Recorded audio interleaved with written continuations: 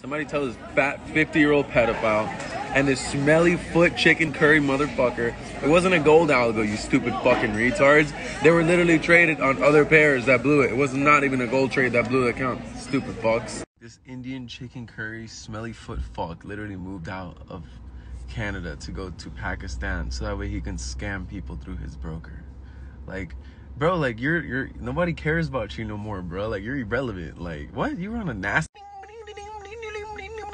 boy looking ass. Yo, leave my name out your mouth, bro. You fucking left the country to go scam, bro. Like, suck a dick, bro. Just shut the fuck up, bro. You could never afford one of these fucking cabin. Middle nastiest losing streak, but made a million dollars, please.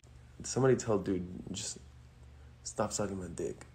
I'm gonna go. I'm gonna have go. I'm gonna have Amon go hit his wife, bro.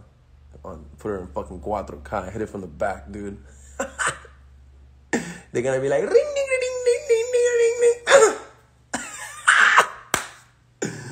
but anyways, you already know. Suck a dick.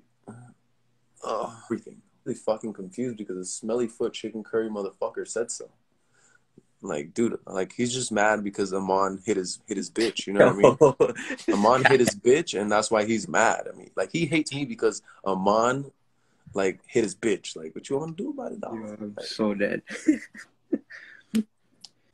yo, Amon, I got all these Indian people from these Pakistani people from Raja coming in here, calling me a scanner. Can you defend me in the in, in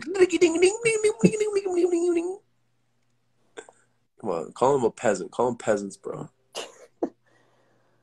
Bro. Ugh. Let's see who's on here. Okay. They're saying I clapped Roger's wife in this beanie. You're tripping. That's Amon's bitch, not mine.